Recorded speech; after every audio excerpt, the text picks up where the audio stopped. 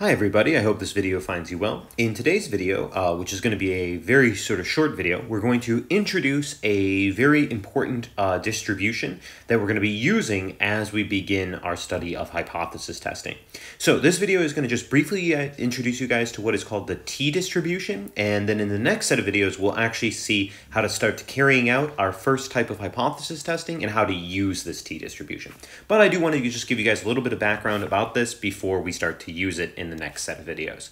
So, the t-distribution. So, the t-distribution is another important statistical distribution, and in, in a lot of ways, it's actually pretty similar to the normal distribution, and as we'll see, it actually has a direct relationship to the normal distribution. But before we do that, let's talk about some important facts about the t-distribution.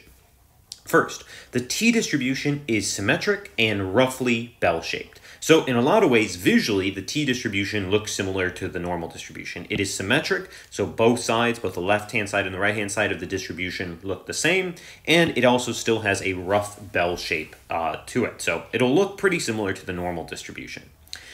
Second, the t-distribution is a three-parameter distribution. What that means is that to fully describe a t-distribution, you need to say three things. You have to know its mean, its standard deviation, and this concept called its degrees of freedom.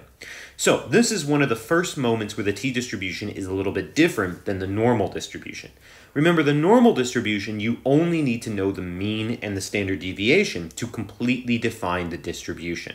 For the t-distribution, you have to know the mean, the standard deviation, and the degrees of freedom. So it has three different parameters that you need to know to describe that distribution. That means that there's a bunch of different t-distributions for different degrees of freedoms. So in a lot of times you'll hear the t-distribution referenced as a family of distributions because there's a different t-distribution for every degree of freedom. Okay, the third fact. This is again sort of a comparison between the t-distribution and the normal distribution. The t-distribution is more spread out, in other words, it has more variation than the normal distribution.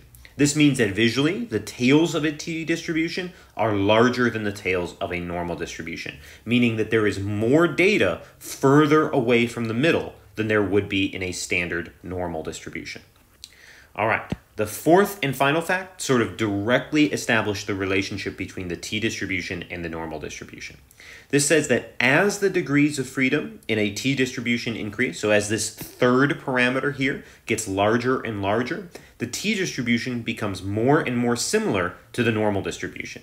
In fact, mathematically, not that it's important for our class, but if you're interested in some of the behind the scenes stuff, mathematically, the normal distribution can actually be thought of as the t-distribution with an infinite degrees of freedom. So actually, if you were allowing this degrees of freedom to increase all the way to infinity, well, that would actually give you the normal distribution. Okay, so some of these facts are a little, might be a little out there, just like when we sort of gave the big facts about the normal distribution, it might help to sort of have a visualization of these. So let's go ahead and do a quick visualization of these facts. So what this basically means is if you were to draw a t-distribution, your drawing would sort of change depending on your degrees of freedom. So let's imagine, right, we draw a sort of curve like that. Now you'll notice that I'm sort of intentionally drawing, and again, I'll put my little axes down here. Uh, you'll notice that I'm sort of intentionally drawing something that does look roughly bell-shaped, but it's a lot lower in the middle and its tails are a lot larger than they would normally be. This might be a t-distribution. Again, I'm just sort of drawing it by hand. This might be a t-distribution with the degrees of freedom of like 5. So like a relatively low degrees of freedom. If you increase that, and you did say the t-distribution with maybe degrees of freedom 10 or something, what would happen is it would begin to look more like our standard bell shape. And it would start to have a larger middle and smaller tails. If we did that again, right, and this guy might be the t distribution with like degrees of freedom equal to 10. If we did it again, maybe we increase the degrees of freedom even more, right? What would happen is it would become more and more like the standard normal distribution. So this might be the t-distribution with degrees of freedom equal to 100.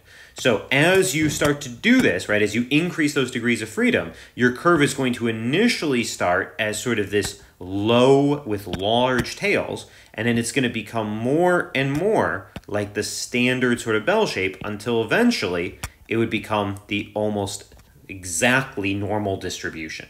So that's what these sort of facts are really saying. The big idea here, though, is as those degrees of freedom goes up, right, it becomes more and more normal, and the tails get smaller and smaller, more of the area is in the center. Okay, at this point, there's probably one large question remaining, which is why are we even taking the time to talk about the t-distribution right now? Well, as we'll see when we get to our first type of hypothesis testing in the next video, we're going to need to make use of this t-distribution. And we're going to talk about why we need to use it, uh, use this t-distribution again in the next video. But I want to give you guys sort of a heads up since we have all these facts right here.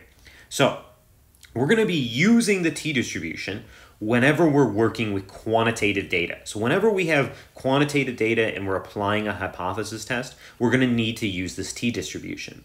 And the reason is, is that we have to account for the fact that we do not have access to the population standard deviation, right? When we're doing a sort of sample, we're not going to have access to the population standard deviation, right? We talked way back in our course that we really never get access to things that are for the population. So when we're working with quantitative data, we cannot expect that we're going to have the population standard deviation. All we're going to have is the sample standard deviation. However, when we discussed the sampling distribution just a few videos ago, right, when we talked about that distribution of the samples, we assumed we had the population standard deviation. But in reality, this will not be the case. So in other words, when we did our sort of background work, when we set up that sampling distribution, we said, assume you have the population standard deviation. But in real life, you won't have the population standard deviation. So what you're going to need to do is you're going to need to estimate the population standard deviation using the sample standard deviation.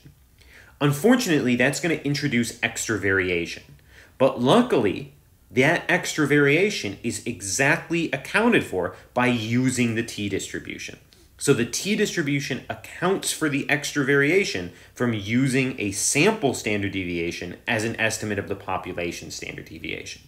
And that should make some sense because what did we just say? Well, we said that the t distribution is more spread out. In other words, it accounts for the fact that we're estimating the population standard deviation with the sample standard deviation. Obviously, also, it makes sense that as you have more and more data, you have a larger and larger degrees of freedom. That extra estimation is less and less because your estimate is a better and better estimate, which is why as the degrees of freedom sort of increase, the curve becomes more and more like a normal distribution. So basically, the big takeaway from this is that when we're working with quantitative data, which we will be for the next few uh, lectures and the next few sort of hypothesis tests, we're going to be working with quantitative data, we're going to need to use this t-distribution. That also means in the next video, when we lay out that our first hypothesis test, there'll be a t-test statistic that we'll be calculating, and we will be referencing a new statistical table, table C, that tells us properties of this t-distribution. So this video is just to sort of introduce you to that so that when we're in the next video and we're talking about the t-distribution and the t-test statistic, you know what that's in reference to.